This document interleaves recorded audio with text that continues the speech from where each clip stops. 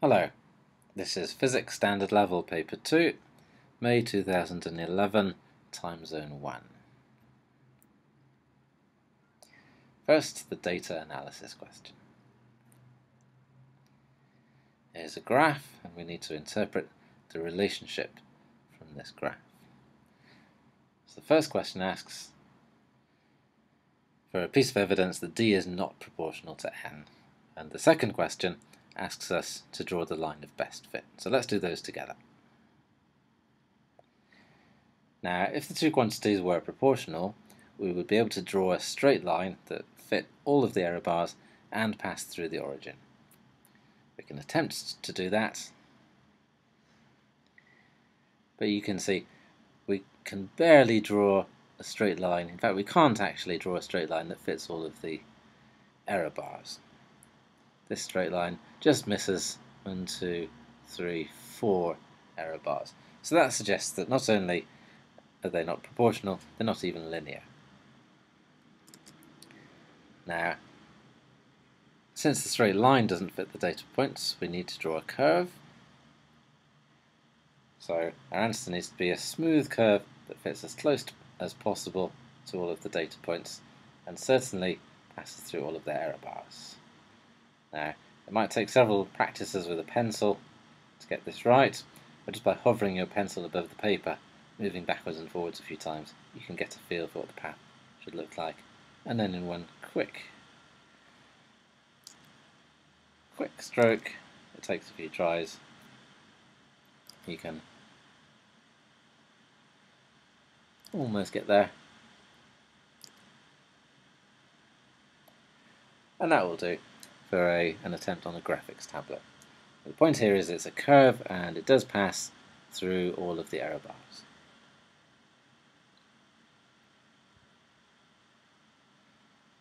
And to answer the first point, the evidence that shows D is not proportional to N, well, you could either say that the line of best fit is not straight, or, or it's not possible to draw a, a line that passes through all the error bars, or alternatively, there's, there's no line that passes through the error bars and through the origin.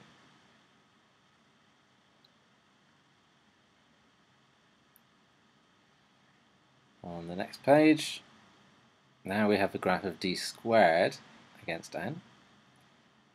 And we want to calculate the percentage uncertainty in d squared of the seventh ring. So the seventh ring is this one.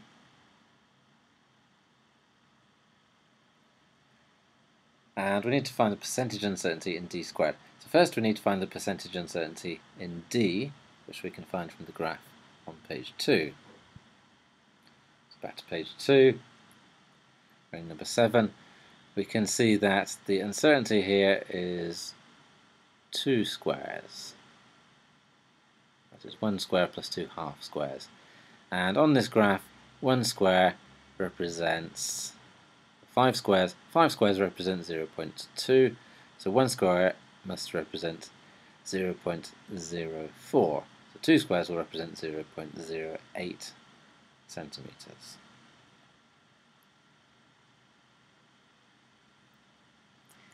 And the value of d at n equals 7 is 1.26. So the percentage uncertainty will be 0.08 divided by 1.26 times 100.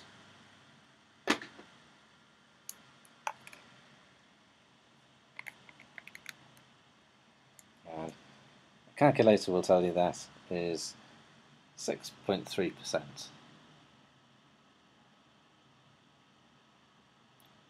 And let's leave that to two significant figures as we're not yet at a final answer. So the uncertainty in D is 6.3%.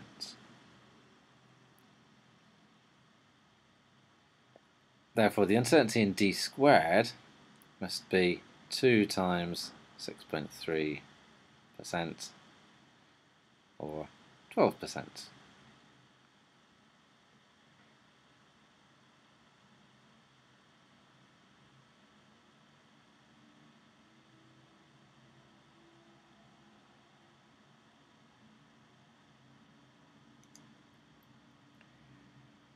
And one piece of evidence that supports the relationship d squared equals kn. Well, if we go back to look at the graph, what can we see? Firstly, it's a straight line, and secondly, it passes through the origin. So either of those should be uh, an acceptable answer to the question.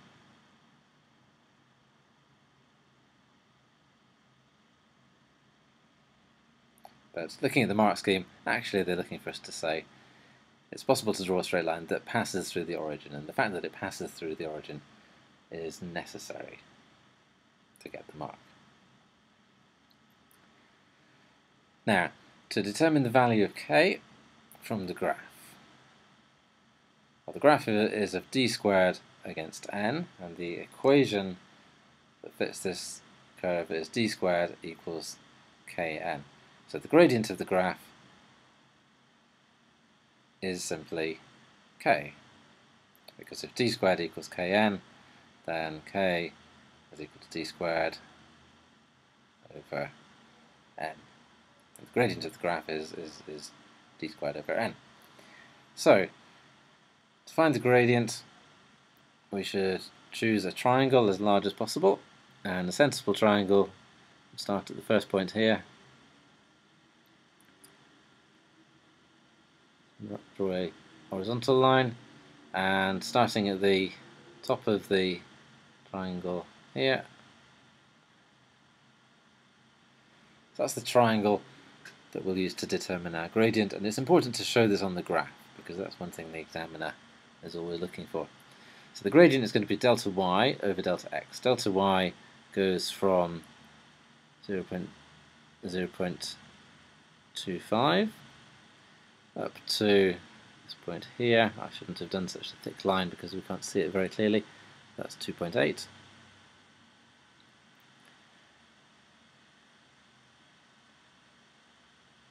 I can write that down on the next page.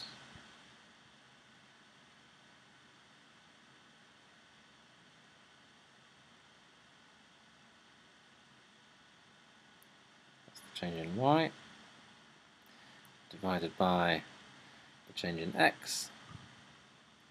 So the change in x is from 1 to 12. So divided by 12 minus 1. And that gives a value for k of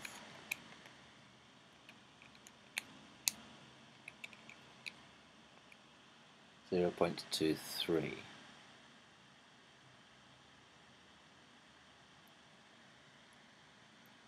And we should give a unit to k. Uh, the unit for the y-axis is centimetre squared, and the x-axis has no unit, so the unit for the gradient will be simply centimetre squared. Now to find the uncertainty, we need to look at how the gradient can vary. So we need to draw two more lines Draw these a little thinner and in a different colour so we can see them clearly. So we can draw a line of maximum gradient the, from the bottom of the first error bar up to the top of the last error bar. And we can draw a line of minimum uncertainty from the top of the first error bar to the bottom of the last error bar. And again, we need to calculate the uncertainties in these two lines. So the maximum uncertainty here goes from 0 0.15 up to 3.05 So we can calculate the gradient in that.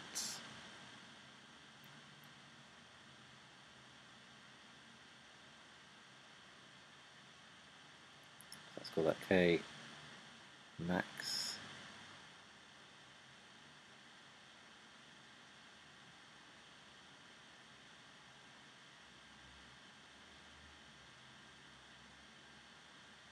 And the x values for our gradient the, the line we're measuring the gradient from didn't change, so we're going to keep that as 12 minus 1. So this comes to 0.26. And similarly, we can find the gradient of the line of minimum gradient. That goes from, it's about 0.35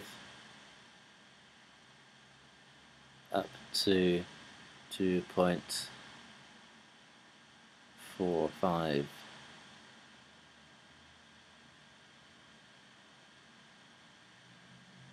Before I came in.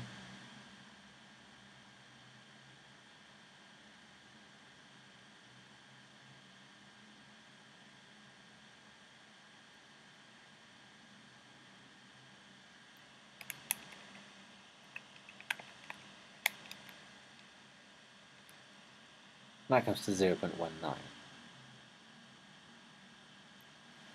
So, if we take the range here, the range is 0.07, and we can say that the error is half the range. So half the range,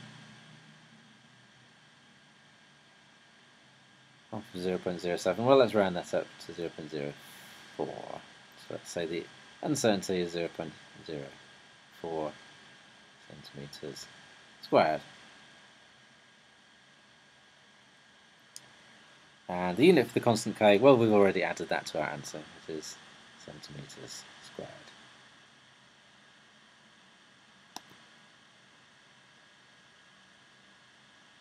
Now we have motion in a magnetic field, an electron passing through a magnetic field.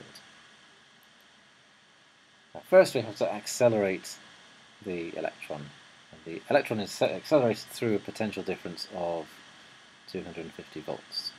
So that will give us the energy, the kinetic energy of the electron gained from the from its potential difference, and from that we can calculate the speed. So the equation is going to be kinetic energy half mv squared is equal to the energy gained, which is the charge on the electron, times the accelerating voltage. Rearrange that. So V is going to be square root of 2 eV over the mass of the electron. And the numbers here, E is 1.6 times 10 to the minus 19, 250 volts. And the mass of the electron from the data booklet is 9.11 times 10 to the minus 30 1. All of that square rooted. If I work it out, the answer is 9.4 times 10 to the 6 meters per second.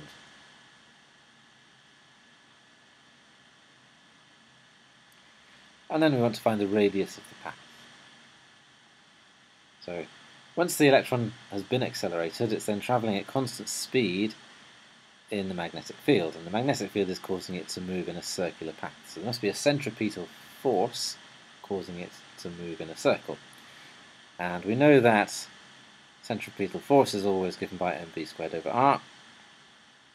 And in this situation, it's the magnetic force on a moving charge that's making it move in a circle. So the equation for the magnetic force on a moving charge is bq, well, let's, to be consistent, let's use E for the charge, V Now we want to find the radius of the path, so we can rearrange this. First, one of the v's cancels with this v, so we can write r equals um, mv over b e.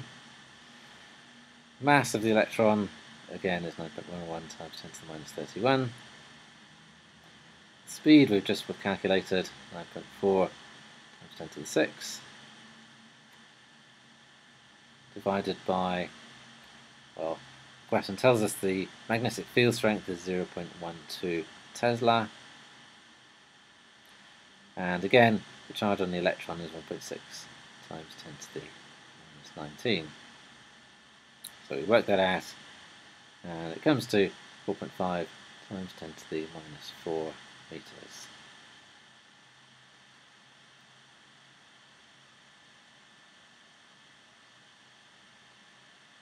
Now we want to show,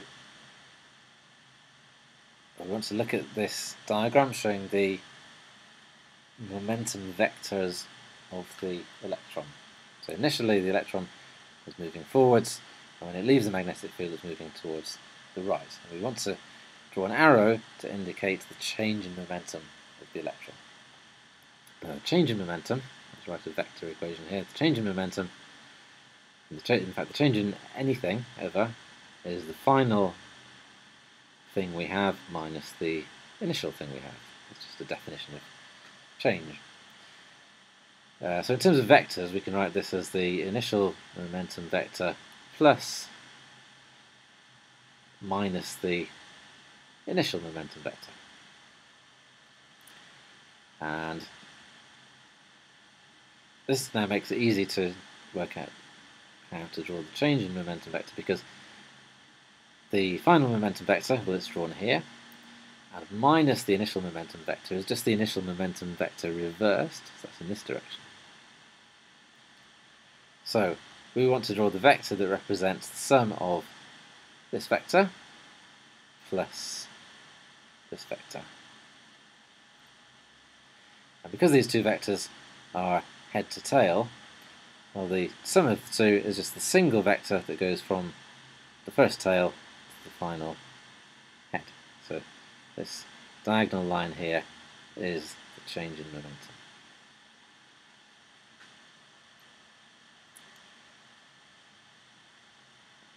And then having drawn this, well, we know that the, the initial momentum and the final momentum are both 8.6 times 10 to the minus 24.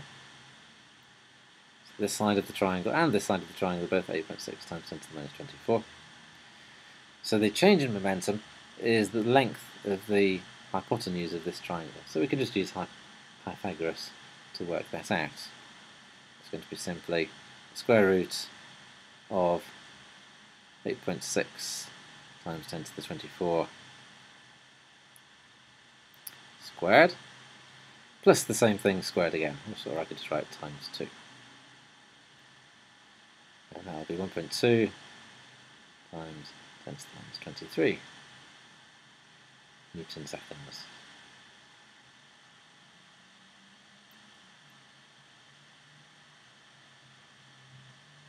Now, if the electron spends this time in the magnetic field.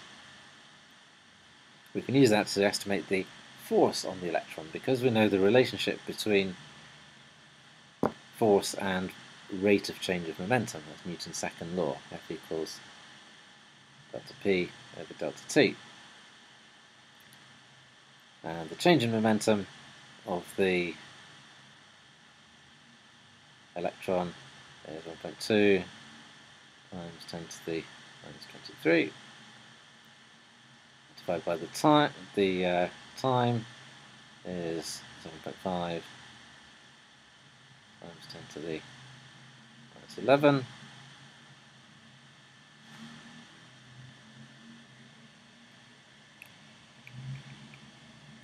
and that comes to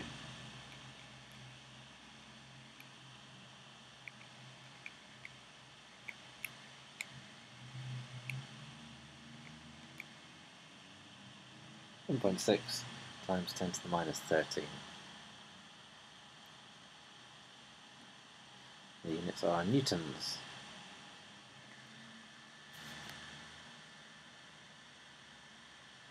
Um, however, this is an estimate. Why is it an estimate? Well, the force is not acting in, a, in the same direction all the time. The direction of the force changes as the direction of the charge changes. So this would only be true if it were a force with a constant direction.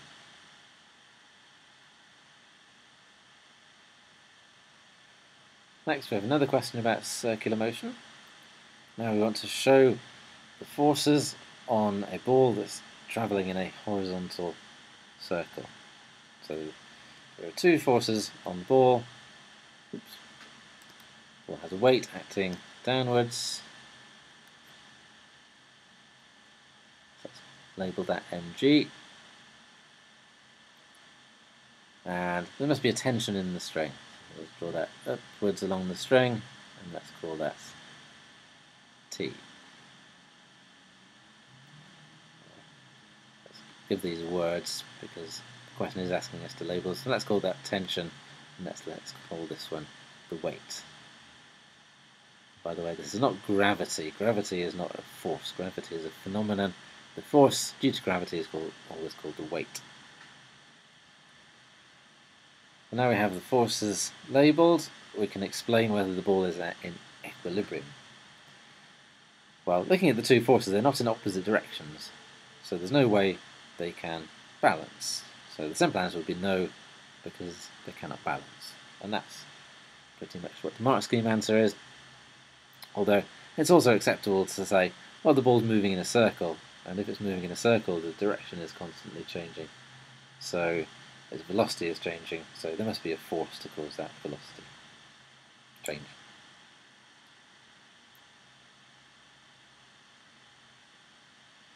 And how do we find the speed of rotation of the ball? Well, what do we know about circular motion? Again, we know that F equals mv squared over r, that's something moving in a circle. And that force must be given by the component of the tension that's acting horizontally. Because if we go back to the diagram, we can actually split the tension into two, two perpendicular components. One, two. And the values of these, well, the horizontal component is going to be t times sine 30, because it's on the opposite side of this triangle where 30 is the angle, and the upwards component is going to be t cosine 30. And t sine 30 is going to give us the centripetal acceleration. We can also say that t cosine 30 must balance the weight because there's no vertical acceleration.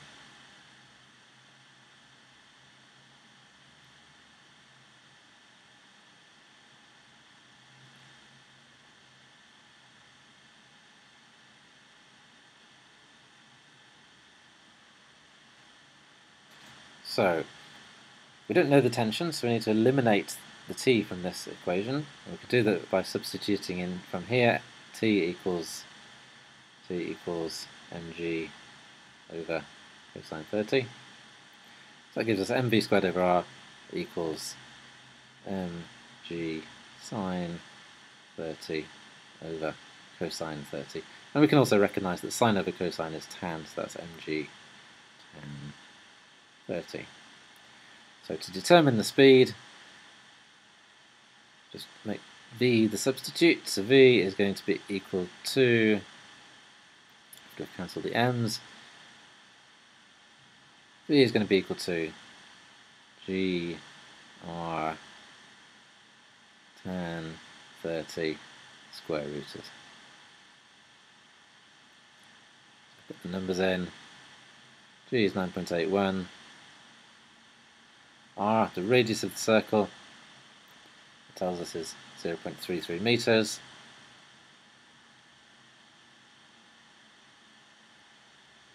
And tan 30, well, we can find that in our calculator.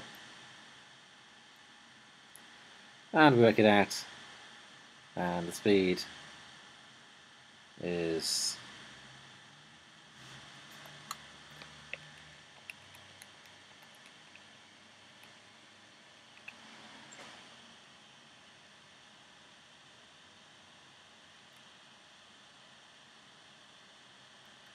one point three six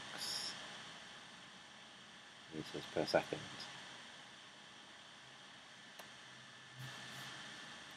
Well, strictly speaking, should be given to two decimal places because all of our data is to two decimal places. So maybe let's rewrite that as 1.4 meters per second.